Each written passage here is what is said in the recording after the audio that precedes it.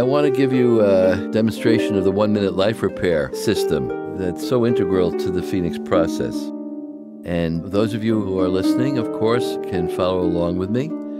And the young woman who has volunteered so kindly to come along and let me work with her on it. So, hi, thanks for coming. And let's start. First, we know that we are looking at some current situation that is giving you some difficulty, troubling you, or challenging you, or you're trying to deal with, cope with, understand, whatever. And what is it that's concerning you at this point?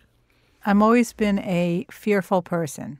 Oh, so this is kind of a belief that has taken its form early in life and has carried its way through to now. Correct. Because these emotions, like fear and anxiety, are also beliefs. So tell me, what is the belief that's connected with this fear? That I won't be able to succeed at whatever I want to do.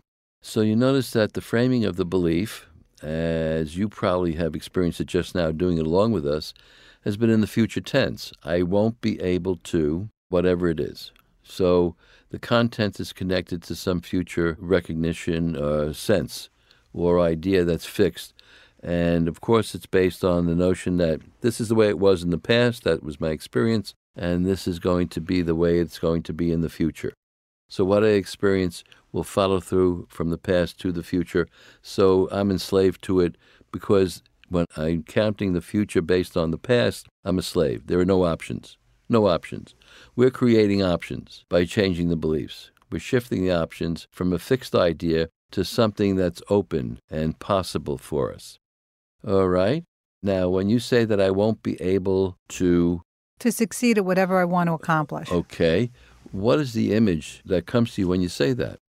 I see myself as very small and the challenge before me very, very big. And how do you feel when you're this small and the challenge is so huge? I feel like a little girl.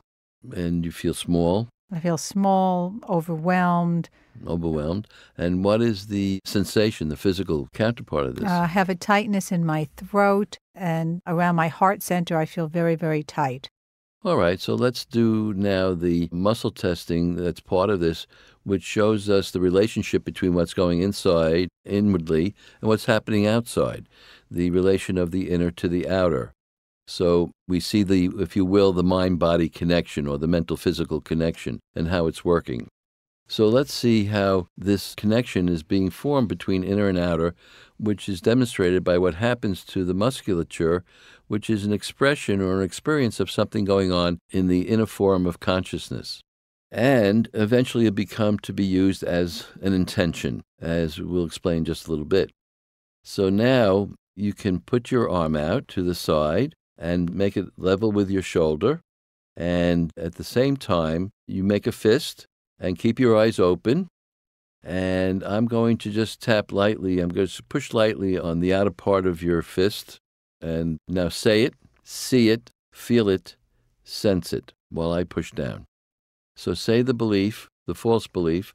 My fear is that I won't be able to accomplish what I need to accomplish, what's in Uh, front of me. See it. That's the small girl. Feel it, overwhelm, Sense it, constricted in the throat. Say it, see it, feel it, sense it. I push down and your arm becomes weak. Now, you couldn't possibly say that to me unless you understood its opposite, because you can't use language without implying or tacitly bringing the opposite to bear. That's the way language is constructed, so it's impossible to say the one without knowing the other. So, what's the other? What's the opposite of what you just said? That I'm perfectly capable of handling any situation that arises. So you see that you put it in the present tense. I am aware, perfectly capable. You didn't say, I will be perfectly capable, because that again is making up a future oriented statement, even though it seems nice and positive.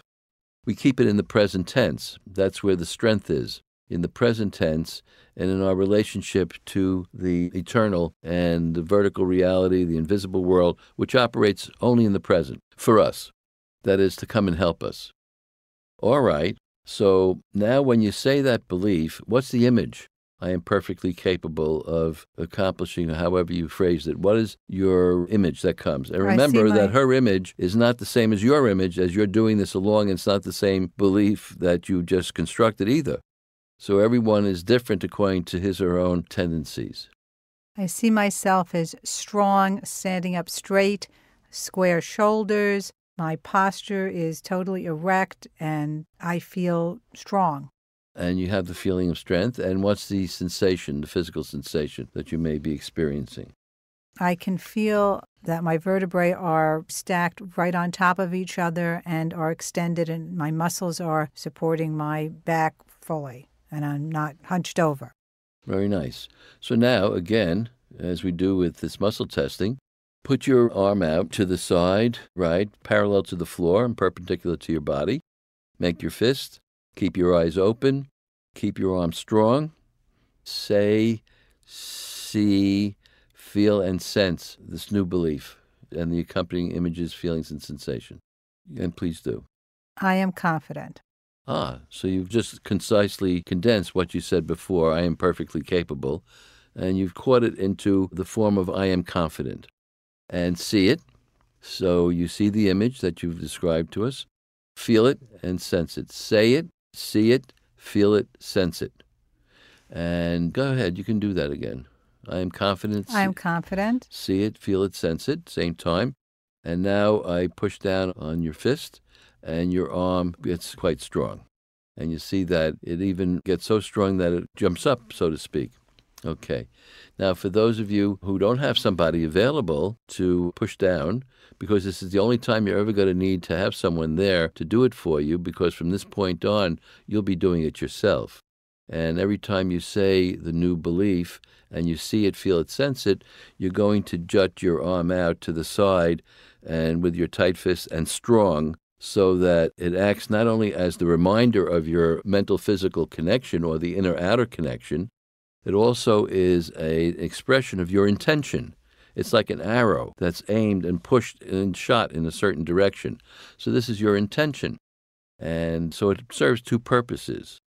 The possibility that exists if you don't have somebody available is to make an O ring between your thumb and your middle finger of one hand, keep it strong, make it tight, and then you take your thumb and middle finger of your other hand and loop it inside the O ring that you just made to make another O ring that is sort of perpendicular to it. And then when you're starting this process, say the habitual belief, the one is distressing, and then pull the inner ring through the outer ring. And you'll see that the outer ring just opens very easily, even though you're trying to resist having the inner ring pull through. Then, when you say your new belief and the new image comes, the new feeling and sensation, pull again do the same thing and pull to see if you can part the O ring. And you find that even though as hard as you try, you can't do it. And that shows the strength. So, this is the muscle testing part, and only does the first belief have to be stated that one occasion at the beginning. From then on, it's never addressed again, and you're only addressing